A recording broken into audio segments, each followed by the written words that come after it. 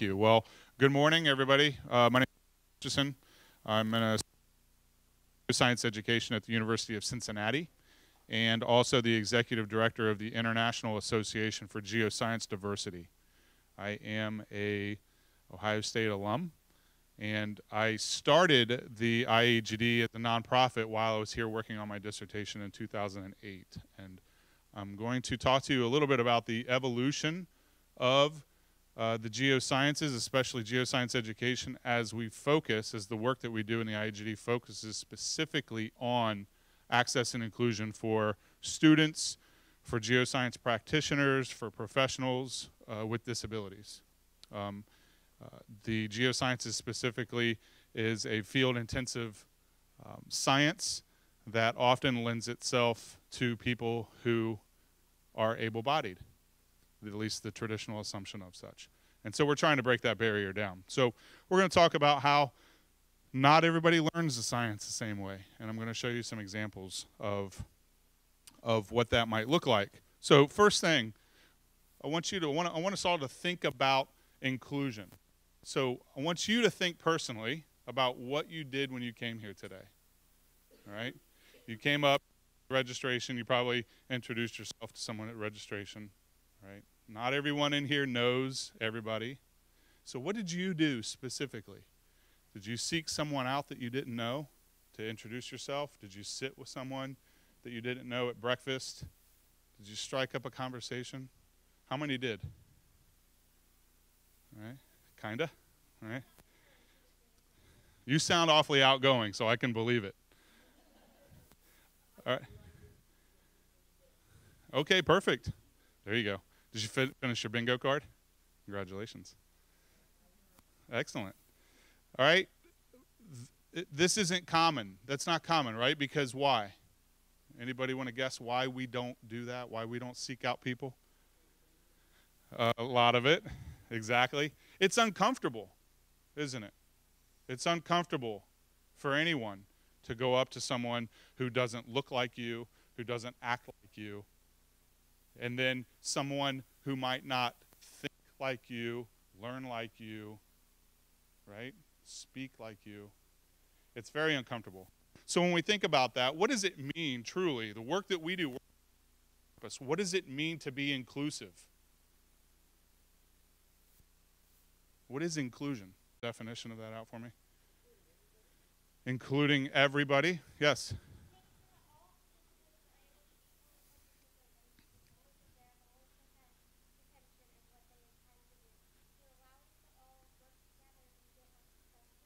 That sounds like it came right out of the dictionary. Very nice. Very nice. okay. So inclusion means that everyone has a seat, right? Everybody is involved. So I always like to say we've heard these things before, right?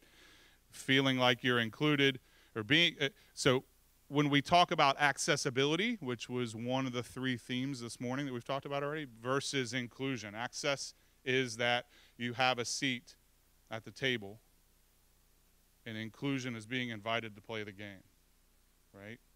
Having a ticket to the dance or being invited to dance, right? And so when we think about inclusion versus access, inclusion is a lot more, uh, a lot more defined in terms of the integration into something. Access is one thing, inclusion is a lot more meaningful. When you look at, if you type in anything, this was, these were pictures that I, uh, that I looked up from an ecology talk that I was given once. And so I said, I don't know anything about ecology, so I'm going to look it up. I, I, was asked to give a talk to the British Ecological Society, and I said, I don't know anything about ecology. So I looked up pictures. I'm like, wow, these look great, don't they? Thank you. Exactly. You look at this, and what do we see? We see um, a lot of. we see a lot of average. We see a lot of dirt we, everything's outdoors, wet. Some people might see miserable, although we see a lot of smiles, right? If I'm a wheelchair user, would I see a sense of belonging here? Probably not, would I?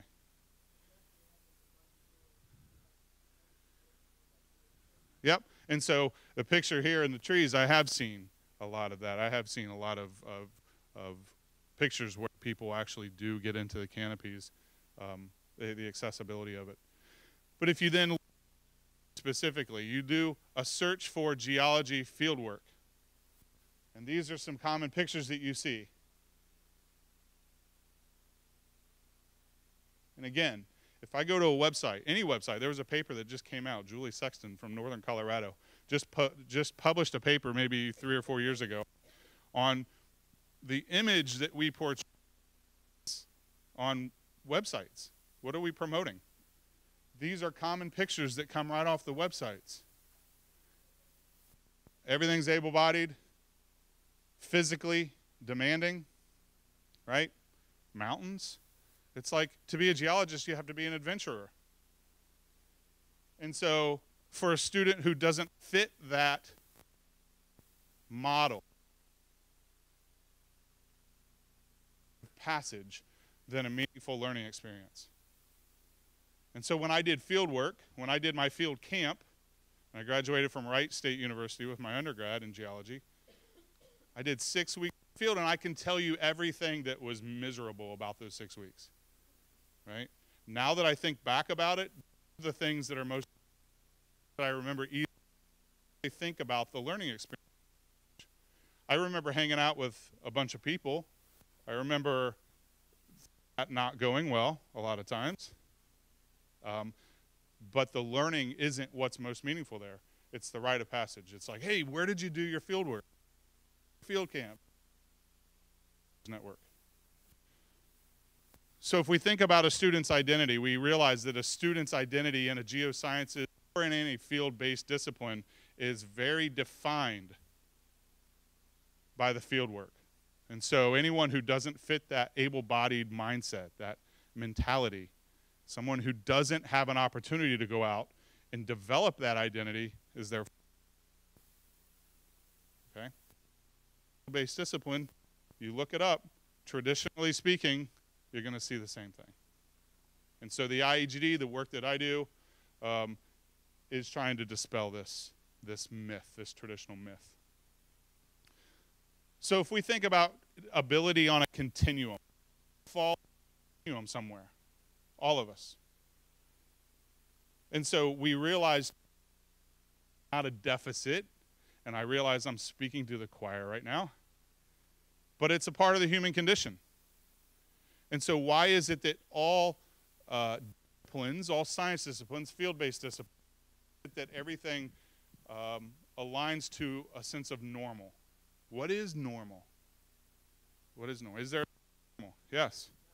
No, there's not. Exactly. No one is normal. There's no such thing. It's a social construct. In higher education, in any training program, we try to find that normal, right? Whenever we have a new class coming in, right? The University of Cincinnati and the orientations uh, that, are, that are happening right now for new students that are starting this fall. They're so proud because their ACT scores are higher than they've ever been. And so the, the academic excellence of these students are so high. Is that normal? Is that what the normal, is that what we're seeking to? Because what we're not talking about is how inclusive we're being, how accessible we're being, how we're bringing in students that don't fit that same thing, right? So if we, we see this here, uh, the continuum from able to not able, seeing, hearing, walking, reading, print, writing with pen or pencil, communicating verbally, tuning out distractions, the ability to learn, man, manage your physical or mental health, all fall on that continuum, right? It's a spectrum. And every one of these, each one of us individually, that needle move one way or another on the spectrum. And so the, the, the programs that we design to train students, either in K-12 or in higher education, needs to be flexible to enable this movement along that continuum. So the idea here is diversity is not the issue. What is the issue? Access is one of them. Inclusion? right? Anybody else? Social justice,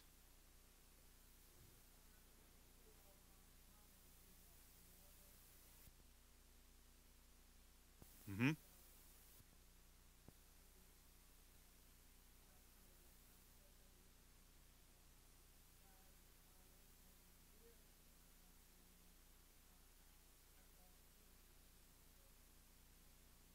That's right. They're not given opportunities to develop that identity, right? So diversity is the issue. Diversity is all around us. It's how we're tapping into that diversity, how we're utilizing the potential, how we're bringing in the diverse perspectives that's going to drive scientific innovation. Right? That's a cultural mindset that we need to change. So we need to think about this. As a practitioner, all of us either are or will be soon a practitioner of science. We need to think beyond the boundaries of our own beliefs and experiences, which is where bias and stereotype and all these things show up. Okay? My experiences aren't the same as Gabi's experiences, right? And so we see things, we do work together, and we see things very differently. She makes me a better person because of that. So let me introduce you to the IAGD, and these stickers are available. We have, we will have we have a lot of these stickers, so come pick one up. The IAGD started in 2008 as a, uh, an organization, uh, and, and, Tiffany, she, she and I graduated from here at the same time. It was an organization to share resources. I realized that that there was an issue here that someone who might have had a visual disability would show up to an introductory level geology course and there's no support for that you go to your Office of Accessibility Services and they're like, we just handle testing. Good luck. And so an instructor would have to figure it out. How are they going to figure out how to support that student in a class? Well, they did, and they would do a really great job. And then when that student passed the class, all those really great things that they developed probably went into a drawer someplace never to be seen again. And then somebody on the other side of the country had the same situation, looking for resources. There were no resources to be found, they had to figure it out on their own. So realizing this, we started this. This was a national advisory for geoscience diversity, which was the very first title. It was a network of people sharing these ideas and resources. That's all it was. Fast forward it now, we're 11 years into it. We're represented in about 40 different countries around the world. And we have gone from just it being a network sharing resources for, for instructors to student communities and offering professional development workshops and accessible field trips, which I'm going to show you a few pictures from. All right. And last summer, June of last year, at the Geological Society of London, we kicked off the first chapter. DIG UK is a chapter of the IAGD in the UK. So I feel free to look that up. So what I wanted to talk to you about is how through these experiences, these accessible field courses, how we develop or we design for inclusive practice, right? So the very first thing that we do when I talk to anyone, I go to that instructor, that the, the traditional field geologist who says it can't be done. I'm like, what are the real objectives, the learning objectives of your course, right? I'm sure that it isn't to climb to the highest mountain to pick a piece of rock that you can find at the bottom. I'm sure that's not the objective. What's the real objective? So we consider those primary learning objectives. And then we use universal design, multiple representation, to help design to align to the student's needs and abilities. Okay? Understanding, and I just said this a little bit ago, the diverse perspectives enable scientific innovation. Right? This if anybody's had seen a talk from mine, this is a picture that's commonly shown. Uh, this was from my dissertation work. I took six students, power wheelchairs, into Mammoth Cave National Park in 2010. Um, the idea here was to give them the authentic experience to be able to relate that to the virtual reality simulation that we were creating to be able to establish another representation of access. So here's a picture of them. And the, the real issue here was, was a year and a half of logistical planning just to get these students into the cave, actually. I had to get permission from the U.S. Department of the Interior. And then Mammoth Cave had to tell me when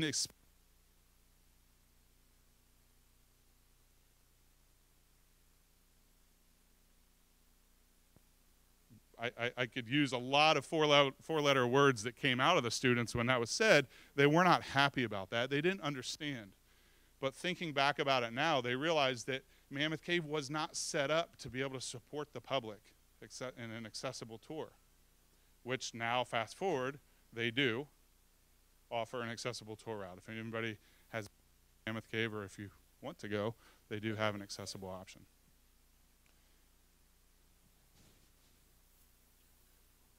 Okay. All right. All right. Mm, so the idea here of the course itself was active participation. We wanted students to be able to actively participate. It wasn't about um, just a show and tell. I didn't want to take them into the cave and just actually have them see what it was all about. I wanted them to actually behave more as a geoscience practitioner just keep in mind that that's plugged in there.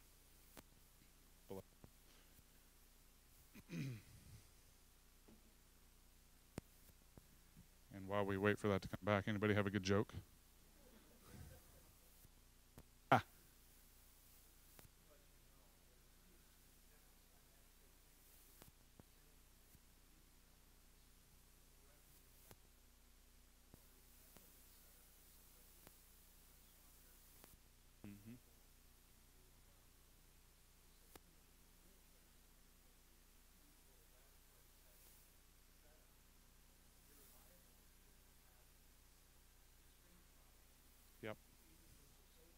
Right, right.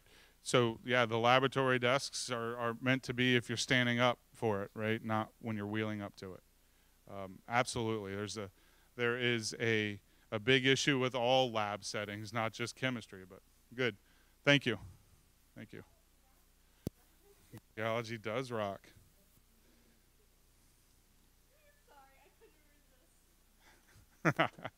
no, it's good. That's good. Okay, so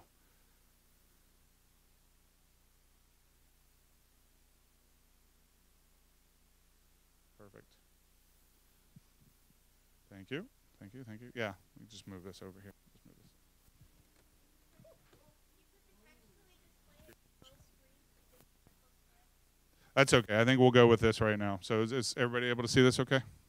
And I'm not standing right so I can move more. Okay. All right, so the idea here was that, that it needed to be an active participation experience for the students. We, I, I had them going in, and we had a section of the cave that they were required to map. So they learned mapping skills. None of these students were geology majors.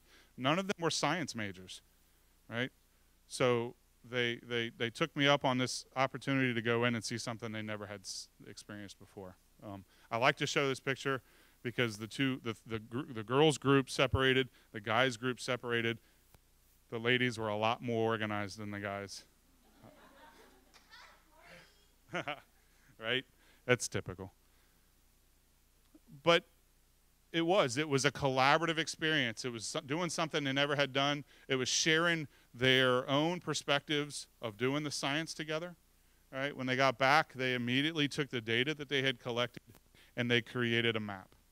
And on the on the left-hand side, you see the map that was created by the students. There's section 1 and section 2. They were completely autonomous while they were mapping and they fit perfectly together. This, the call out box here, the red box, is the actual section of the cave. This is the, the actual cave map. Um, and, and the students, this was my first experience where I did the work, and I will never forget how to map a cave. I loved mapping the cave and had such a feeling accomplishment, feeling of accomplishment when the boys' map fit perfectly to ours. All right, this is giving somebody an experience that they had never had, and honestly, this is what completely changed the perspective of what I needed to do moving forward. And so did um, uh, like focus group and individual interviews at the end. Uh, one of the students I loved that the instructors were prepared for extremely positive attitudes about working with us. There was absolutely no sense or feeling that we were a nuisance, burden, or an overall pain to be taught because of our different needs. And so this is a very common, some probably very aware of this, you feel like a burden when you don't fit that normal that most instructors are teaching to. So why do we focus on the primary outcomes? If we look at, especially in a field-based discipline, we look at a lot of the physical rigor that comes along with doing any field-based science. Climbing to the top of the mountain, right, is an example. If there's a lot of physical rigor, the retention of the content or the work that you're doing is going to be reduced, right? If you're out running a marathon and then you have to read a passage and answer the questions, do you really think you're going to do well on that? I don't know about you, but I haven't ran a marathon in a while. All right? So if you increase academic rigor, minimize physical rigor, your content retention is going to go up if you're really just focusing on the objectives there. You know, and then identify the triggers of cognitive load. Anybody know what cognitive load is? Yes, it is. What is cognitive load, you think? Do you play video games? Yeah? Yeah? I bet your video games are a lot more complicated than the ones I used to play. Right?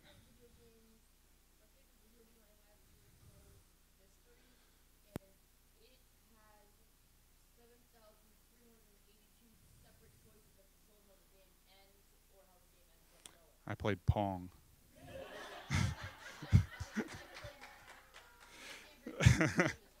we had one choice. yeah, no, I like that one too. And so the issue here is cognitive load is when there's so much going on, I don't know what to focus on, right? Yeah, right. A really great example of this when I was actually in my undergrad, we were on the side of a road in an outcrop, and we're trying to listen instructor talk about the rocks in front of us. Behind us, these cars are flying by, right? We're maybe five feet off the road. And then, out of nowhere, comes this swarm of ladybugs attacking us, right? And if you've ever had ladybugs attack you, bite. They bite. And so, how much of that lecture did any of us listen to? That was cognitive load. There's too much going on. We had no way of focusing on that. So if we identify what triggers cognitive, we can minimize your content retention is going to go up as well. So the next thing, identifying barriers to active participation.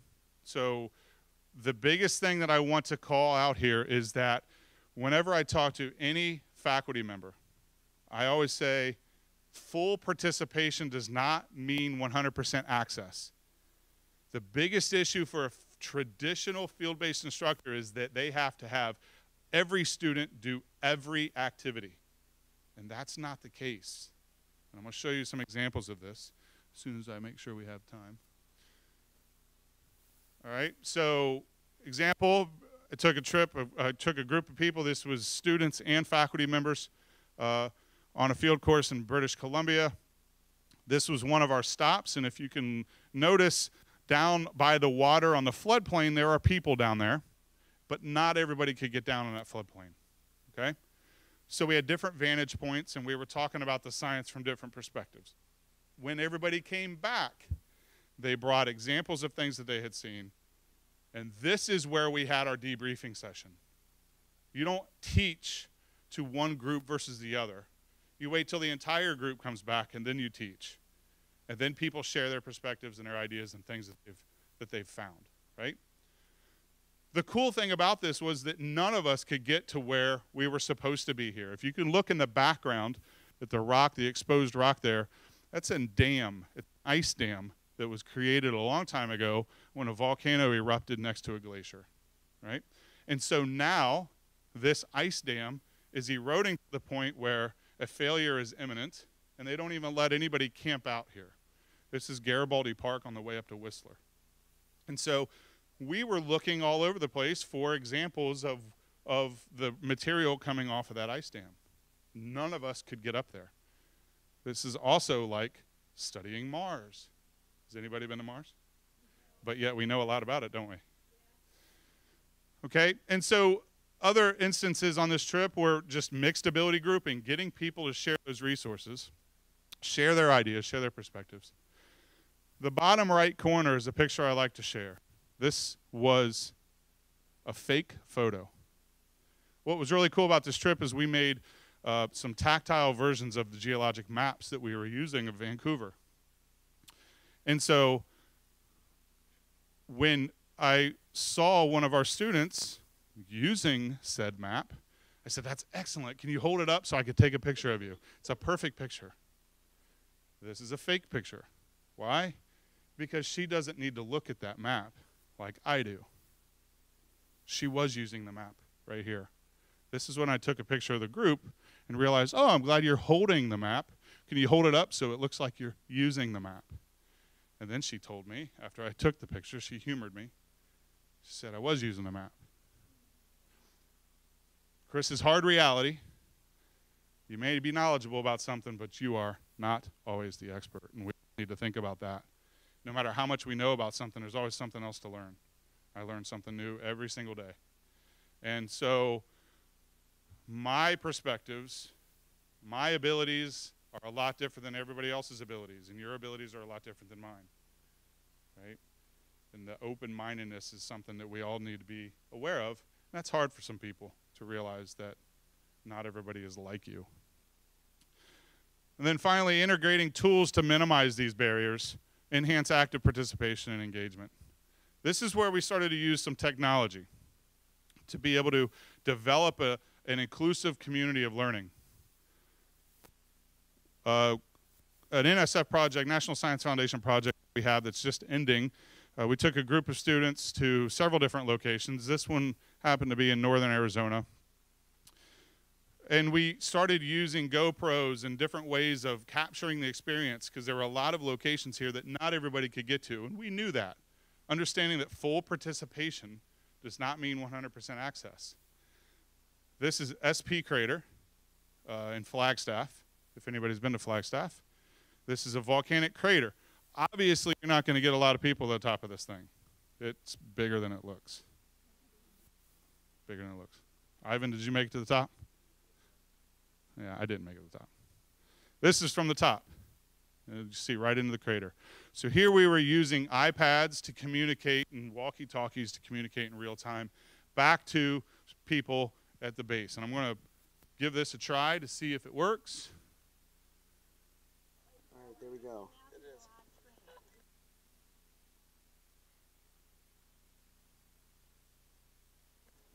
Yeah, usually about 30 seconds. Definitely a couple minutes. Kind of hard to hear. In. So, so I will kind of paraphrase what we're seeing here. Um, the students in the van, so we had a, a, a few wheelchair uh, uh, people who utilized wheelchairs on the trip. They obviously weren't going to make it to the top. Crater, I think, near as we can tell. Yeah, we have a. be- We could ask them like what the texture of the flow is. From here, it looks like an a'a, but Thank you. Yeah. Uh, Well, so the uh, is it oh Tell uh, the flow at the top, right? So we're looking at it from the stream. It looks like it's an a'a, but can you guys confirm that? Uh, but there's also a fair bit of scoria up here as well. So what's Uh, special? There's a lot of sort of orangish red sage material with lots of vesicles. Some of it's How do you pretty think you're light. So it's a combination of a'a and scoria. Okay, so what was happening here is there was teachers. So one of our faculty members did make it to the top. This one didn't. And he was teaching from the top, the people who could not physically get up there. The issue here was that there was a lot of delay. It was about a two-minute delay in the video. The communication, the walkie-talkie communication was in real time. The video was really lagged, right? Taking the same group a year later, we went to Western Ireland, which was beautiful. Uh, this is a really quick shot of one of the field sites that we took as a drone shot from the field site. Obviously, not very accessible. Everything that you see there is a bog, so you'd lose your boots if you walked across that. Um, beautiful, beautiful site. The idea here was to split the group. So we had students that were more mobile than other students. And then we used this, oh, it was an old train trestle. We used this train trestle to have students who are less mobile actually do the, the geologic mapping while other ones would go over by the lake. But this time, we established, we're in the middle of nowhere, Ireland, by the way. We established our own wireless network, which was very cool. Um, it was like using the internet without being on the internet. But what this helped us do was use the iPads and the communication, take, to, the, the, the capabilities of the iPads um, to be able to communicate back and forth along with the video. So here's the train trestle, students doing mapping of the rocks along the train trestle. And then down by the lake, more students were, this is a meta, meta picture of a student taking a picture of the picture that they were sending back to the students. Uh, it was very cool to be able to share that experience back and forth. So students were responsible for each of their locations. And then they had to come back together and start creating the map of the location teams. Site that we went to is uh, Renville Point on the Atlantic Ocean. Obviously, you're not going to get chairs on. Right, this is an old glacial outwash. We set up, if you see on the left side of the picture there, we set up the wireless network again. Um, and I'll play this very quickly. Sean has the stream on his iPad, so he's able to split screen and type as he sees the stream. So I'm just kind of watching upside down. So just be aware of that for the interpretation later. We have everything on PhotoSync visible now. We're about to send three more. Here you go. Look, they have a scale one too. Oh, that's good. Oh wow, that's huge. Yeah. The the air beam didn't really show that that's how high the wall was. It's cool though, because that's all that all has to be exposed by wind and waves. Mhm. Most of the wave activity. But it's cool because it doesn't look exactly lithified yet. It could be that it's just erosional and it is lithified, except on this outer surface too. Uh-huh. Yeah, we're just discussing the photos as we're they come in or as they've been up here, and we're just able to see them now. So we have some good discussion on our end. Great, what are you guys seeing so far?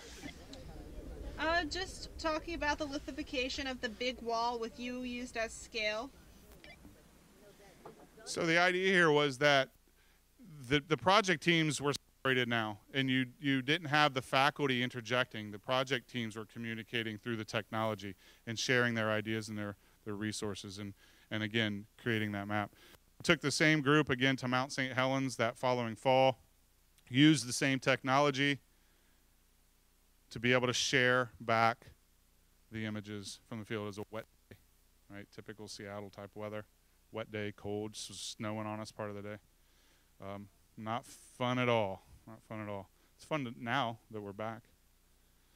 Uh, the following fall, or I'm sorry, last summer, I had an experience that I had never had before, and that was to actually follow a student with autism uh, doing a field course in Belize. And so his job, he was actually um, he was actually selected to participate in this uh, research experience for undergrads where he had to use drones to map islands on the barrier reef. It was a really tough job. Really tough job. Really tough. And, okay. All right, but so I had to go down and support him. This was he was so excited to be able to do this. He's an undergraduate student in geography, and all he wanted to do was fly those drones. This was a picture of the very first experience he was able to fly the drones, right? Um, and there were a lot of challenges with this because as part of this project, he had to go around the community and interview community members about their science, about the, the islands, about their culture, right? So if you can imagine an autistic student interviewing community members in a foreign country, right? Don't so so when somebody comes up to me and says you can't do it, I say you can do it.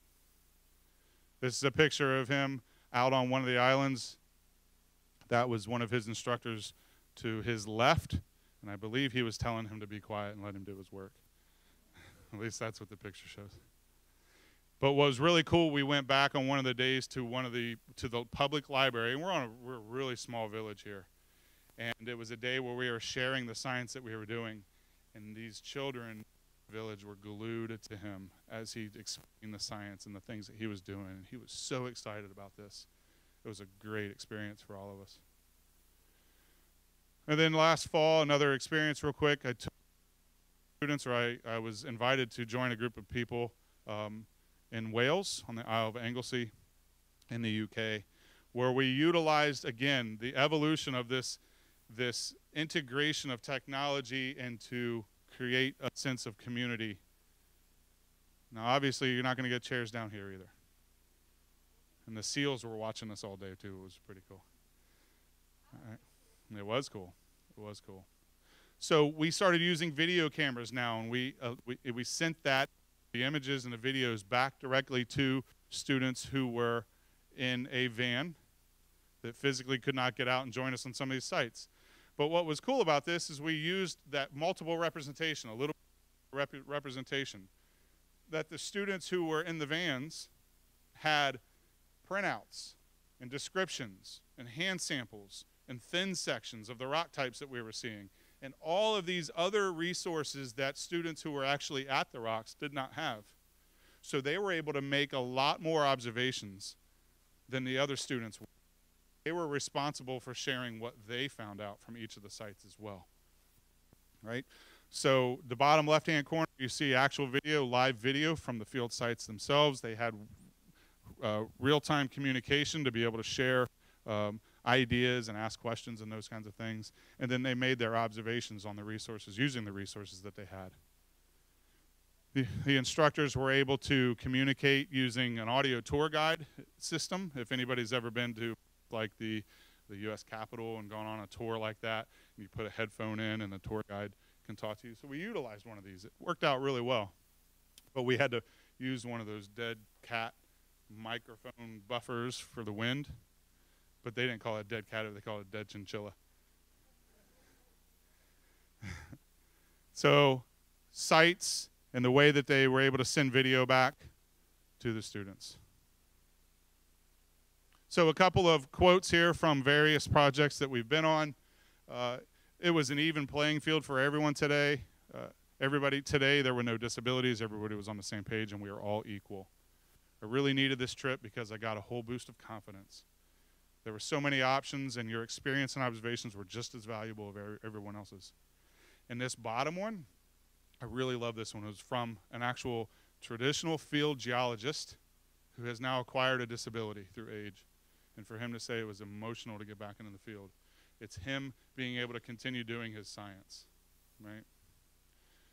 So, how do we include everything we do from promotion, recruitment, selection of students, language that we use in all of our promotional materials.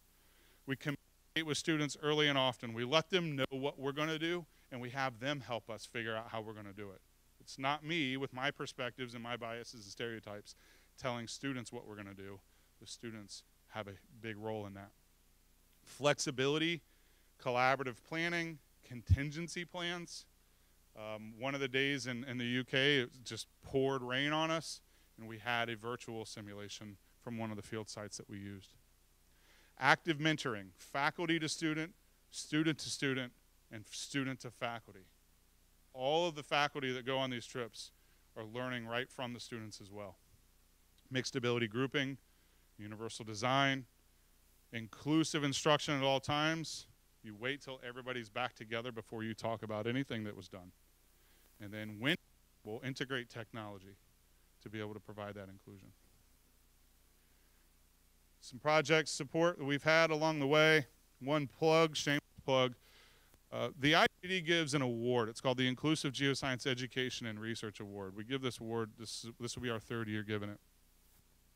Anyone doing any work in sciences or in the earth sciences that is working to promote access and inclusion, please let us know.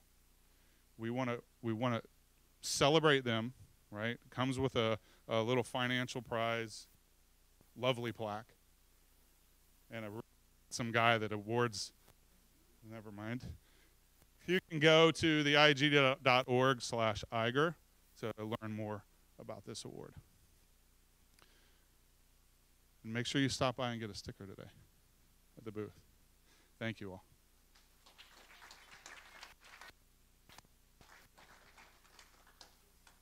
It is now 10:04. I know we got a little bit of a later start and a hiccup. But five minutes. Does anybody have any questions? Any thoughts, Tiffany?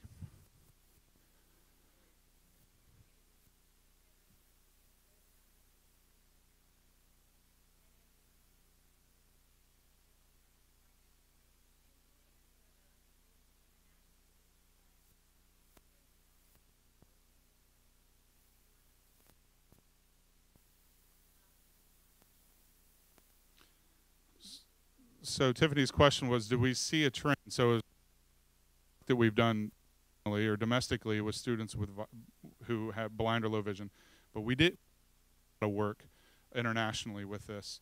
Um, primarily because I think that it's well the the one international international was that Anglesey trip, and there was it, they weren't recruited they didn't sign up it was it was inclusive in the promotion of the project but we didn't get. We had au- we had autism we had physical disabilities we had um, mental health issues on in that group but no visual disabilities.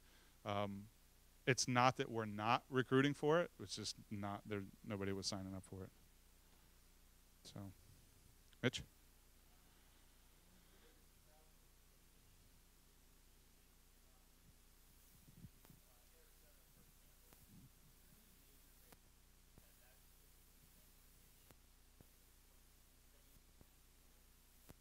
transportation no because we were able to select you know the biggest issue with transportation is finding a, a company that will rent to you right? That was a big issue in ireland. There was only one company in the entire country that would rent an accessible vehicle to you and allow you to drive it. And so i had to fly into dublin and drive to shannon just because of the vehicles. But there, i don't think there's an issue with transportation other than finding the, the, the appropriate. You have somebody fly into cincinnati for a meeting and there, there's no way of picking them up through Uber or Lyft, right? The issue is finding companies that, that you can get the vehicles from. I think one of the biggest issues for Ireland and for Arizona with that same group are issues of student needs that I have not anticipated, and that's where the flexibility and the contingency planning comes in, right? Such as a student who cannot regulate his own body temperature below his injury site, and you take him to Arizona, and then you take him to wet, cold Ireland. So we had to figure that out pretty quickly. Um, so he can't shiver and he can't sweat, and your body temperature starts to go up in Arizona. There was a few times where we had to throw him in a uh, in the car to cool him back down. But yes.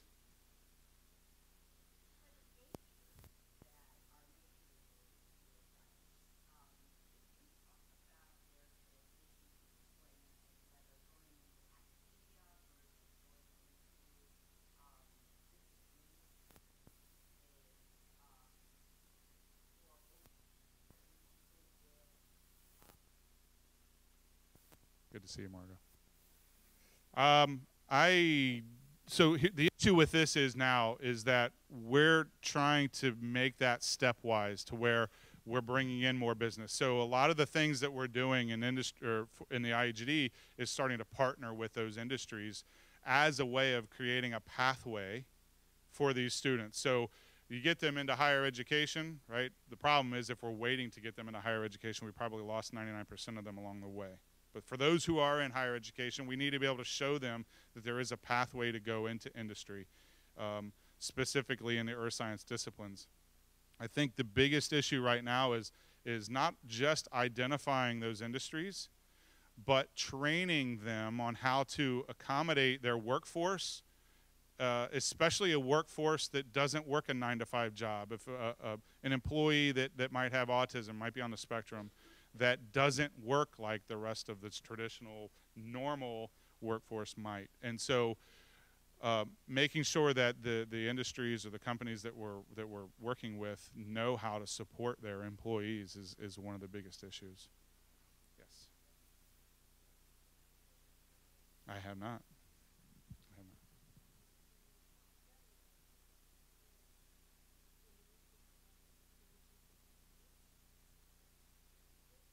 Mhm. Excellent.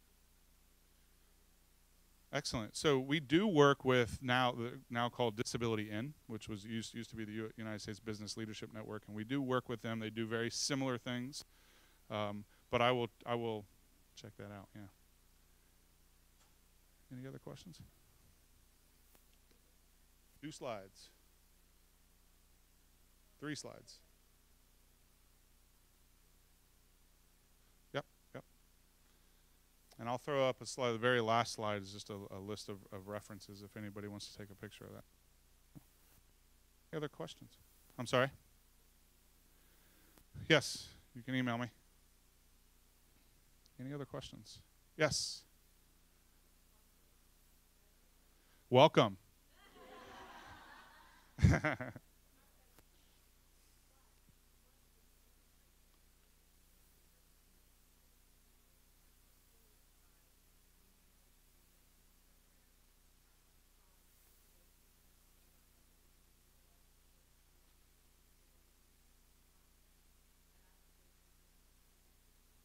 I have a business card for you.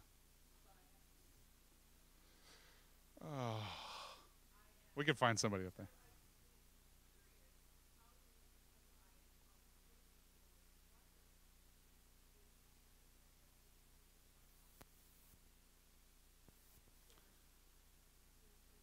Yep.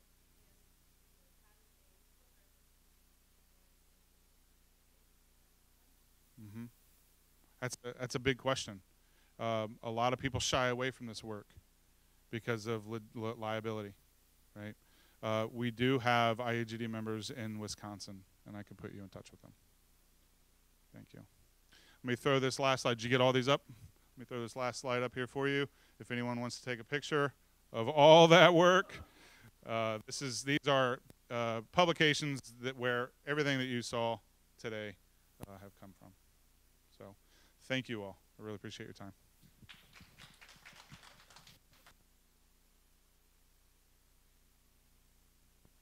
I was just trying to get your attention. I'm sorry. So thank you for uh, taking the time to um, hear me at the end. So I work with deaf children in high school. And I've been really encouraging deaf people and the deaf students to be included in science and to continue on after high school. So I'm curious, do you have any prospect students going through your program right now? Have you ever had any students like that? Yep. So on a couple of the projects that you saw, we did have a couple of deaf students, um, and I was really excited. The Vancouver one specifically, I was really excited that we had it all figured out. I had a, a, an ASL interpreter that was that was scheduled to come with us, and then when the student arrived, he was from India. And so we had this is where the flexibility and contingency comes in. We had to figure that out, and and we did a we did a we did a bang up job to do that. Um, we have worked with a lot of students who are who have hearing disabilities. Yes. So I'm curious, would it be possible to get their names to invite them to come to give presentations to my students at my school? Abs- absolutely. Where are you located? Here? Here? Okay. Um, yes, I, I I'll put you in touch with them. They're not from here in the area, but we could figure that out. Thank you. Thank you. Thank you all.